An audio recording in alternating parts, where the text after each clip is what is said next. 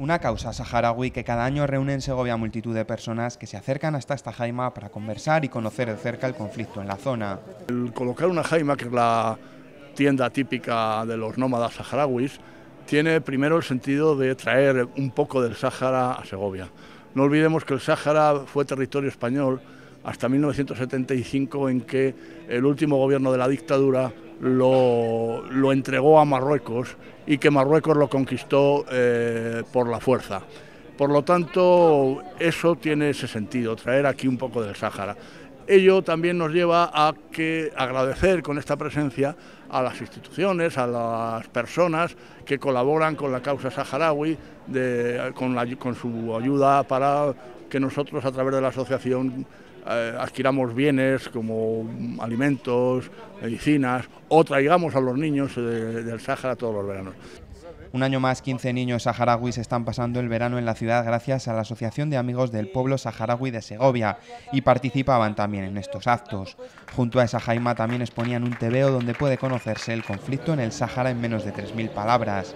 Un recital de poesía que dirigía el poeta segoviano Jesús Pastor era otro de los actos con un mensaje de ilusión y de vida por solucionar el problema en esta parte del mundo. Demasiado amarga y violenta, sin que se cierre ni se olvide la herida.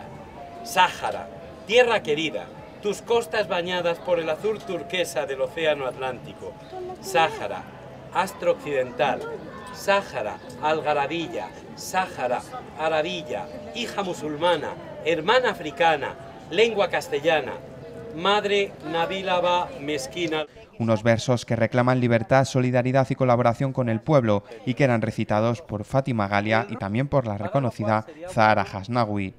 Tras años de asfalto cabalgaba las arenas, rescatando estrofas infantiles y muñecas de marfil. Una flor sobre una tumba anónima derramaba sombra en la yerma claridad condecoraba la tierra al soldado civil. La sencilla ofrenda enmudeció mis pensamientos, la pompa y el clamor, y me inundó la lluvia, y no supe qué decir, decidí sentir. Porque la cultura del Sáhara y España tienen muchos lazos en común.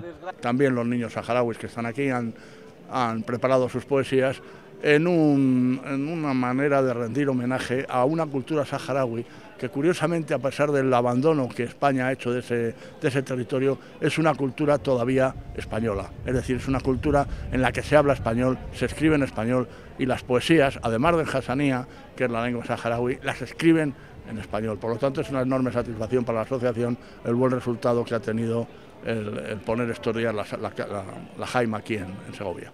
Un acto que contaba con la visita del delegado saharaui para España, que conversaba con los presentes para acercar su visión sobre el problema en el Sáhara. Es una cuestión no de una persona, de otra, sino de muchas personas que se van eh, añadiendo a esta gesta solidaria con el pueblo saharaui que realmente la lidera la asociación, pero se eh, suma a ella no solo otros ciudadanos, también las instituciones, porque en esta acción participan concejales, participan autoridades, y es una manifestación de la solidaridad y el apoyo y los buenos sentimientos que tiene la población y esta ciudad, muy en particular, con el pueblo saharaui teniendo en cuenta que la, la, cuestión saharaui es una cuestión que en toda España y en la historia española saben que es una cuestión de mucha responsabilidad española.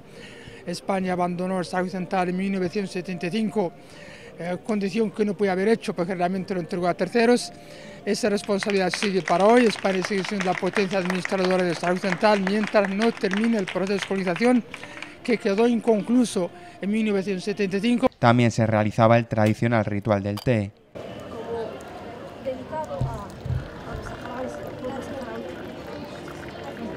Y se degustaban dátiles característicos del Sáhara. Muchos segovianos se acercaron hasta la Jaima donde también se realizaba una lectura de poesía interrelacionada con los colores de la bandera saharaui, con sus colores rojo, blanco, negro y verde.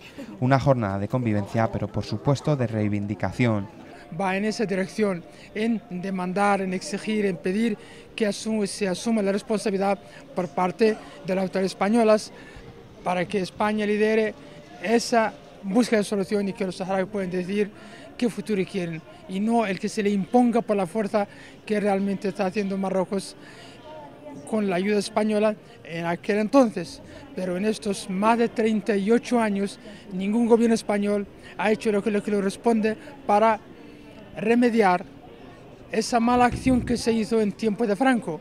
Estamos ya en gobiernos democráticos, estamos en España democrática y se supone que ya es hora de remediar y reparar el daño que se cometió injustamente en 1905 por el último gobierno de Franco contra el pueblo saharaui. Creo que es la exigencia que estamos haciendo los saharauis, es la demanda que está haciendo el movimiento español y la demanda que se hace aquí de Segovia consideramos saharaui que va en vanguardia eh, del movimiento español.